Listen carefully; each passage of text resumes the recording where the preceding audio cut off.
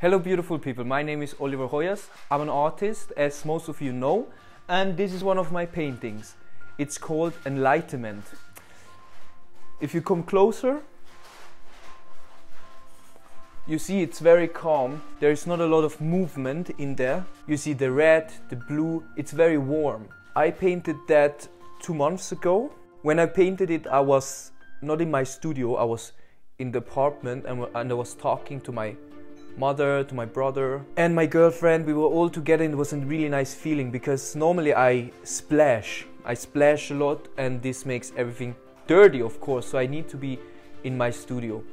And now with this new series, which is much more calming, where, where I'm also painting more calm, that uh, it's very nurturing for me as well. It's a new style and I realize I don't even have the need anymore to be like very crazy and energetic and and paint all around. I felt more the need of being calm and and you know using the brush very very easily, very soothing.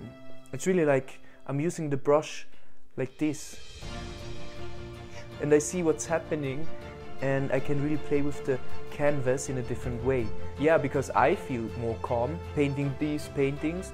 They, are, they also have a more calm energy and you see they are different from most of my other splash paintings.